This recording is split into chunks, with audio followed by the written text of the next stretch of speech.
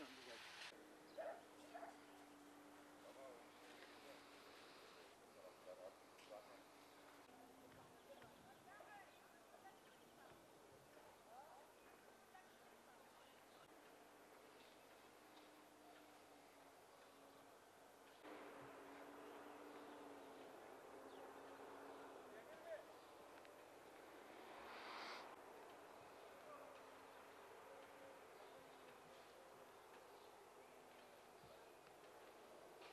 Ya geçen yıl, e, geçen yıl da anlatmıştım. Yani mil- 1 milyonun üzerinde üretimimiz vardı. Belki bunun %50'si 500 bin civarında çöpe gitmiştir. E, Bu yıl e, biraz daha Garden Center türü e, birçok e, market zincirleriyle görüştük.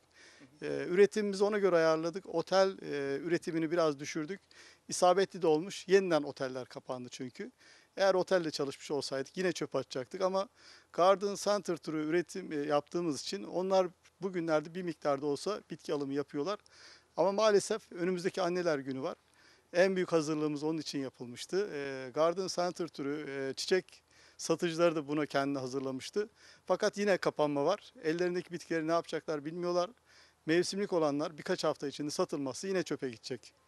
Ya geçen yıla göre tabii ki kâra geçtik. E, dediğim gibi satışlar daha iyi ve biz e, üretimi daha e, dikkatli yaptık en azından. Riskleri daha bir aza indirdik.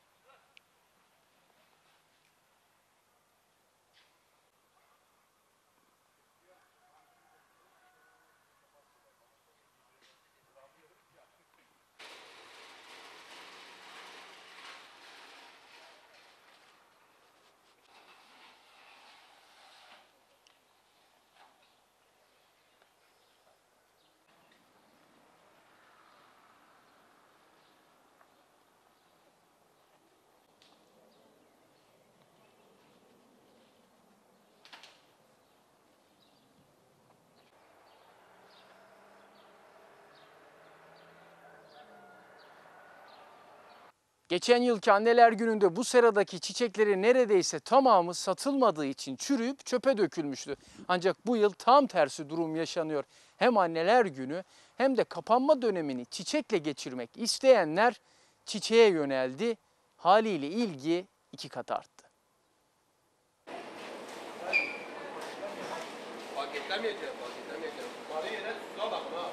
Hummalı çalışma anneler günü için çiçekler burada paketleniyor. İşte bu hummalı çalışma yaklaşan anneler günü için kadın çalışanların elinin değdiği işte bu çiçekler Avrupa'nın birçok ülkesine gönderiliyor ki aralarında Hollanda, İngiltere ve Almanya bulunan bu ülkelere bu yıl anneler günü için 7 milyon dolarlık 70 milyon dal çiçek gönderildi.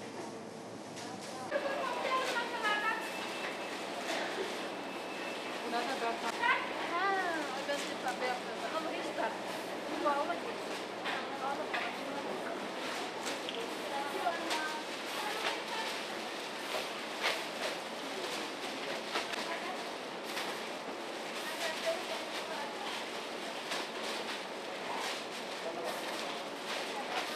Ee, sektör bu anneler günü için Avrupa pazarında çok hareketli günler geçiriyor. Sizin de gördüğünüz gibi şu an çok ummalı bir çalışma e, söz konusu.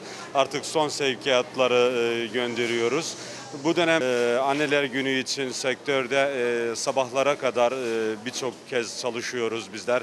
E, yaklaşık olarak 70 e, milyon dallık bir çiçek gönderimimiz söz konusu. Bunun da parasal değeri e, 7 milyon dolar civarında. Sektör anneler günü için e, hareketli e, zamanlar geçiriyor diyebilirim.